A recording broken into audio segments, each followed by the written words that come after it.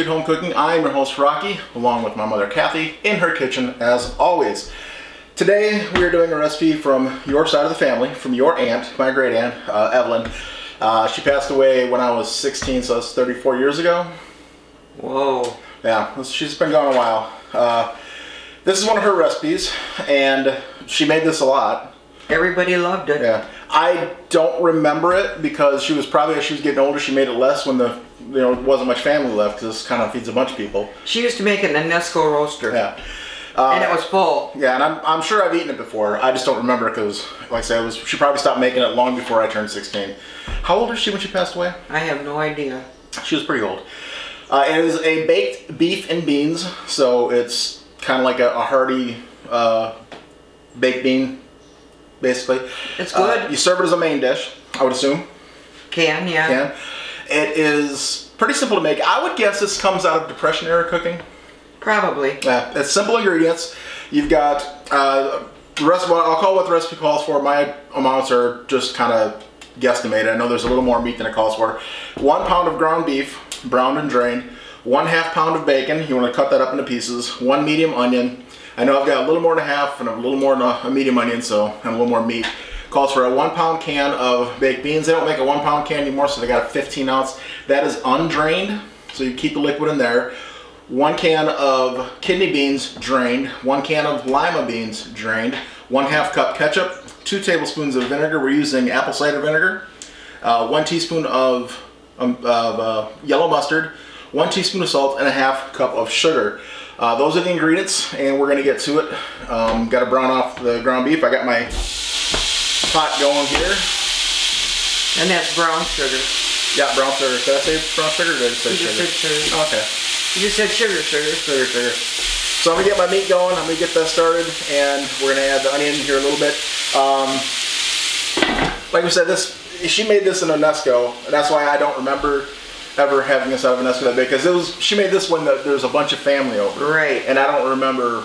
I mean, our your side of the family was pretty much going, going, gone before I was old enough to remember them all. Probably. So yeah, this is something that I know I've had, just I don't remember because I was really young. But it sounds good. He went to one funeral with Evelyn, and she went up to the casket and left him sitting in back, and she had her wig on.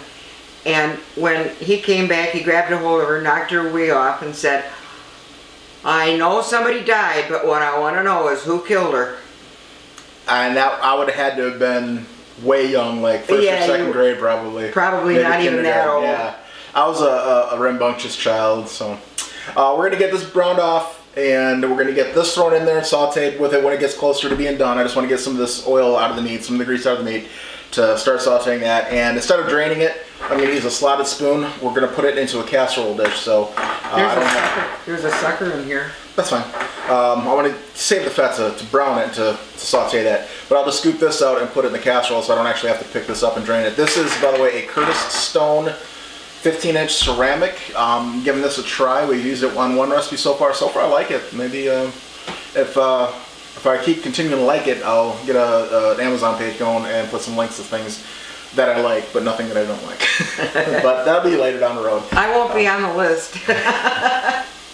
So we're getting this started. We'll be back when it's ready to put in the casserole. So just stay tuned and we'll be back in just a moment. Okay, we are done. Luckily, it is cooked. The bacon and onions and the hamburger. Um, my review on the Curtis Stone cookware, don't waste your money. Uh, we were getting close to the end of the cycle and it started to hum and you could hear the electrical cracker crackling going on.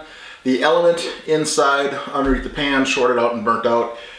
I've used this twice. I got it used. She says she's only used it twice. It was too big for just her and her husband. So, and this is in excellent condition as far as looks go. So I know it wasn't used a lot, and it just burnt out. So, uh, and that's what I've read from some of the other uh, reviews on the Curtis Stone electric skillet is that it's no bueno, and I will agree with that. So skip the Curtis Stone, find something else. All right, we have the the meat browned off, the onion sautéed. Time for, I tried to put it in a three quart casserole. It didn't fit, it was gonna overflow, so I stopped and I transferred it to a nine by 13. If you would go with exactly one pound of hamburger and one half pound and a medium onion, it would probably be enough room, but because I went a little bit overboard, gonna be a little bit short. So I add the beans. Add the other beans. Add the other beans. And now you're full of beans. And let me go for the smaller spatula. Add your ketchup.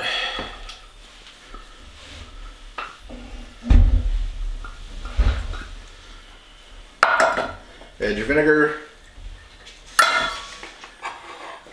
Add your mustard. Add your salt. And your brown sugar. And now you're just gonna mix this up. Uh, as you notice, it's just salt. If you want to add black pepper to it, I'm sure you can, but I'm just gonna make it the way that my aunt had it written, just lime and bean escape, uh, just because I want to see the way that she served it to the family. Uh, there's always salt and pepper shakers on the table, so if you want to pepper on it, you could always add it at the table, I'm sure. And that was pretty simple. Uh, 350 degrees for one hour. I would say probably covered.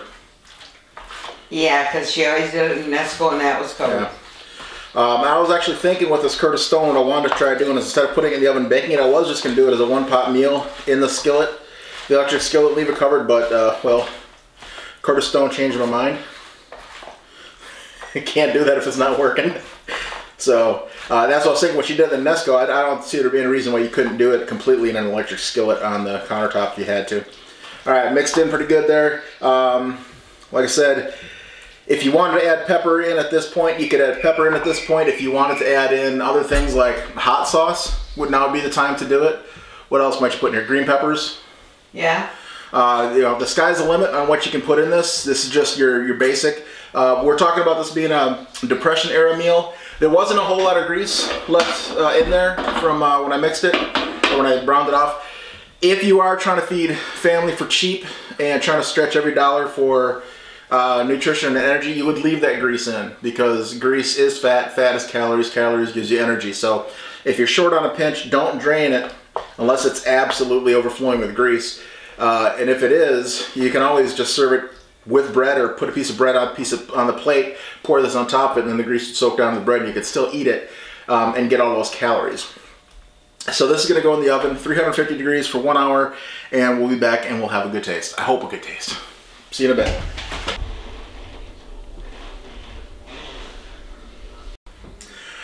All right, the camera battery died after halfway through that taste test. We get to taste it again, and I've got no problem with that because, folks, this is really good. Uh, sweet, savory, meaty. It's like, it's like a little like chili, but not like chili at all. Yeah, it doesn't have the. It's got the heartiness of chili to it with the beans and the beef, um, but it doesn't have the the cumin. I mean, you could easily make this out of kidney, uh, chili beans and make it more like chili but I why ruin yeah, it? Well, this is fantastic way. I could see doing this in a smoker, getting some smoke flavor on there. Um, changes to it, not much. Uh, pepper, a little bit of black pepper if you like it. I don't think green peppers would do it any better or any worse. Mushrooms might be good in there as an extra filler. Uh, turkey meat probably wouldn't hurt it. That's fine, just the way it is. Yeah. I mean, you could do things to make it your own, but it's this is really good the way it is. It's it's hearty. There's plenty of fat in there to make it stick to the ribs, give you energy. I think what makes me think of chili is the beans. Mm-hmm. But the lima beans you wouldn't put in chili. No. Some people do. Um, they're not wrong. But this is really good, folks. Um, give it a try. Like I say, it's, it's an old recipe, very old recipe. Um, I'll make this again. Um, even though my girlfriend won't eat it, I could eat that whole tray in a couple days. I, I, could probably eat that in one day if I started having it for breakfast. I like it that mm -hmm. much. Uh, good as a side. It's got plenty of meat in there. You could actually serve it as a, a main part of the meal. Uh, maybe some fresh bread with it on the side and some fresh bread and butter. If you're doing an outdoor get together and you just want to have a a quick uh, you know an afternoon lunch type of meal, make it in a crock pot, make it in a Nesco, whatever, and uh, do what you're doing in the morning come back and have this for your lunch meal, serve it up in some bowls and bread, be easy meal for people to eat. And again, it'll be hearty and warm. So for a fall or a spring or you know activity going on outside, this would be perfect. I like this. I give this one thumbs, two thumbs, way up. Uh, thank you, Evelyn, for the recipe. I miss you. Um, I love your recipes. and that makes two now. This one was, and her Ranger cookies. The first video I did on the channel was Ranger cookies was hers, and I do miss her a lot. Um, give this a try, folks. If you have any other bean-based casseroles like this or bakes, share them below. I would like to try some more because this is this is right up my alley. Um, make sure you like and share and subscribe to help us grow the channel a little more. The uh, Curtis Stone cooker is a big thumbs down. Don't buy the Curtis Stone. I'm not happy at, at all about that. So I'm gonna continue what I can't eat anymore because my girlfriend, I think she wants to do something for supper, so I can't have any more of this. but we still have that other one to try yet for the other video. So Oh yeah. uh, I'm gonna I'm gonna stop for now, but I may end up having this for supper tonight because I don't know what her dinner plans are. We'll save some for Dad because he should eat this. he should. He should. So, all right, folks. Thank you for watching, and have yourself a great afternoon. Bye.